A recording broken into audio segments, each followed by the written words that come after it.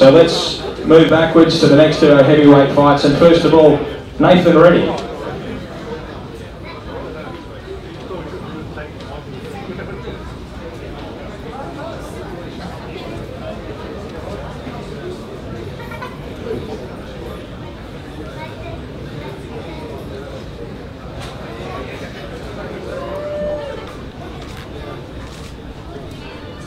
Ninety-three point four.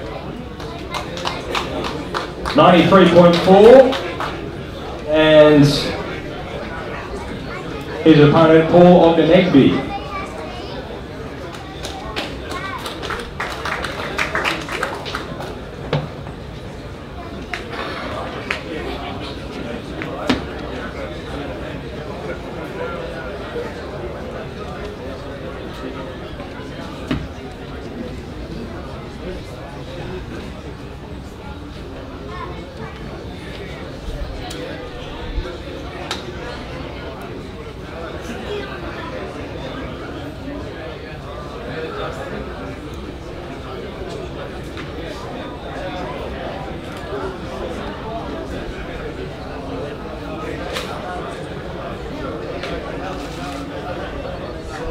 Ninety-three point zero five. 93.05 kilograms.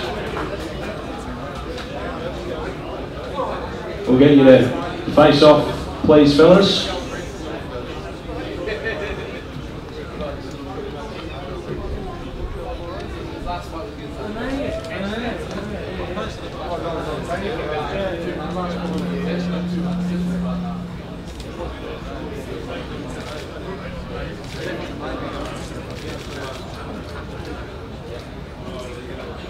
Okay, thank you very much, gentlemen. Good luck tomorrow night.